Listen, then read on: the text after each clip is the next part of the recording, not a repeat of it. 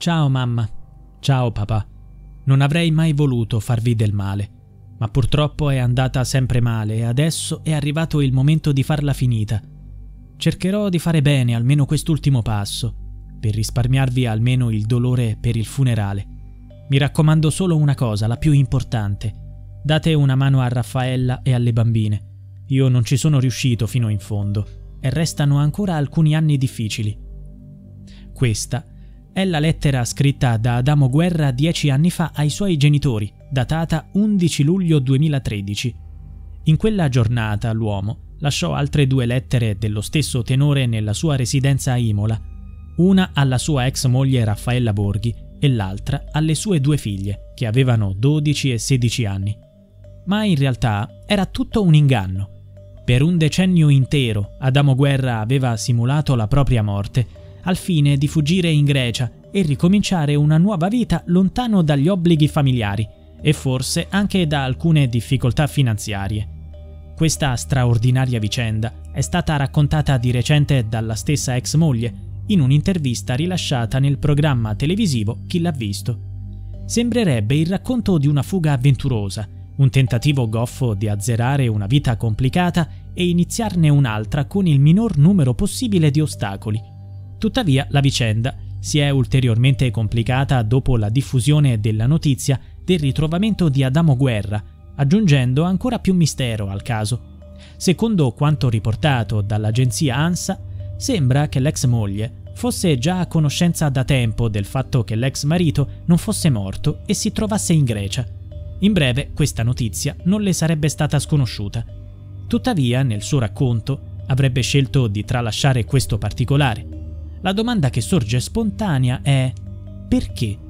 La donna avrebbe poi fornito una spiegazione in un'intervista a chi l'ha visto, ma cerchiamo di esaminare gli eventi in modo ordinato.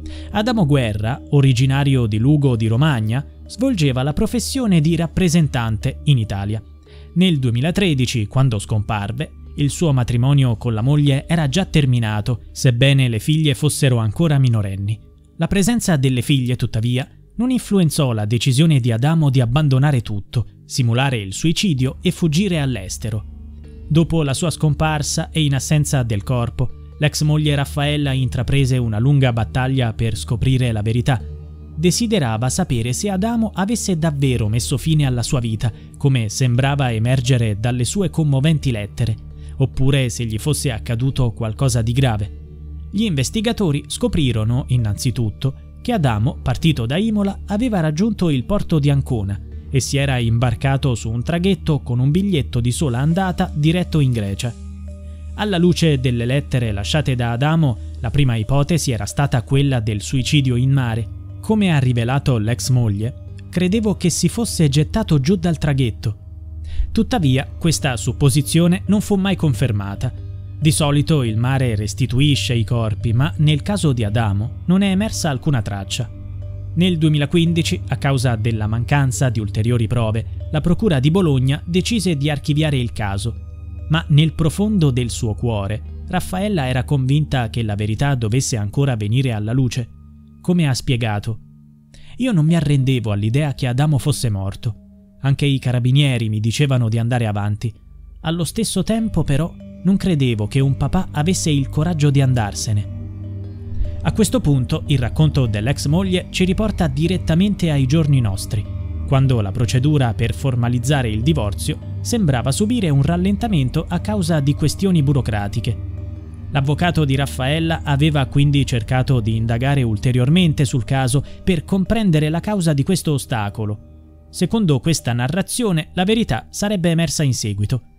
Come ha detto la donna, l'avvocato mi ha chiamato dicendomi che mio marito non era affatto morto, ma era vivo. Nel febbraio 2022 aveva fatto richiesta all'AIRE, l'anagrafe degli italiani residenti all'estero, per essere inserito come cittadino italiano residente in Grecia.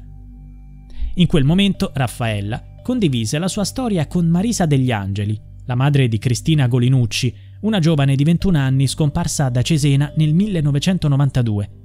Marisa, in veste di rappresentante dell'associazione Penelope, ha offerto il suo sostegno a Raffaella nella sua battaglia. Successivamente, un inviato del programma Chi l'ha visto si è recato in Grecia per cercare Adamo. Con l'aiuto delle informazioni fornite dall'ex moglie, è stato possibile confermare che Adamo Guerra è effettivamente vivo, lavora come dipendente presso un servizio di noleggio auto e ha costruito una nuova vita in quel paese. Quando il giornalista si è presentato, Adamo ha reagito con fastidio. Ha dichiarato: Andate via, non dite nulla, spegnete tutto e andate via. L'ex moglie ha commentato in modo rabbioso: Dieci anni sono tanti. La testa è sempre lì perché hai una speranza. Quando ti chiamano per dirti che è scomparsa una persona, si entra in un tunnel di cui non si vede la fine. Per me non si può certo dire che sia un uomo e neppure un padre. Tuttavia, sembrano emergere alcune omissioni importanti dalla versione dell'ex moglie.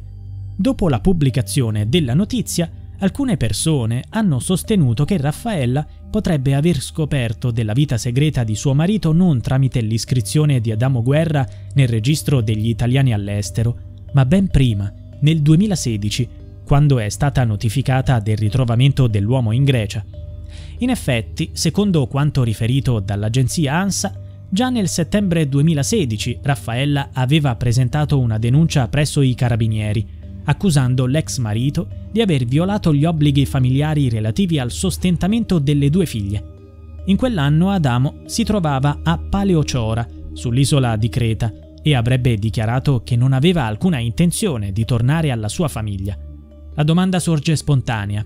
Perché Raffaella non ha menzionato questo aspetto rilevante nella sua prima narrazione? La trasmissione Chi l'ha visto ha condiviso alcune dichiarazioni che potrebbero spiegare questo punto. Dopo una segnalazione di Adamo in Grecia, ho contattato nel 2019 e nel 2021 il consolato italiano ad Atene per avere conferma della sua presenza sul territorio greco e mi è stato risposto che lì non c'era nessuna traccia di lui. La trasmissione ha reso pubblico anche la copia dell'email che Raffaella Borghi ricevette il 9 agosto 2021 direttamente dal consolato, in cui si affermava che non erano disponibili informazioni riguardo al suo ex marito. Purtroppo dobbiamo confermarle, a seguito di verifiche fatte sui nostri database, che non abbiamo tracce del signor Adamo Guerra, che non risulta neanche mai essersi rivolto all'ambasciata. Marisa degli Angeli, madre di Cristina Golinucci, si è schierata in difesa della donna. Senza le telecamere della RAI non avremmo saputo più nulla. Sono dalla parte di Raffaella, che in questi anni ha vissuto dentro a un terribile incubo. Quell'uomo è stato particolarmente crudele. Effettivamente, indipendentemente da tutto, sorge una domanda naturale. Com'è possibile che Adamo Guerra, in un periodo di dieci anni, abbia praticamente ignorato completamente le sue figlie? Nel frattempo è addirittura nato un nipotino e Raffaella, la sua ex moglie, ha condiviso con gioia questa nuova aggiunta alla famiglia. Tuttavia sembra che Adamo avesse preferito rimanere nell'ombra, come ha sempre fatto.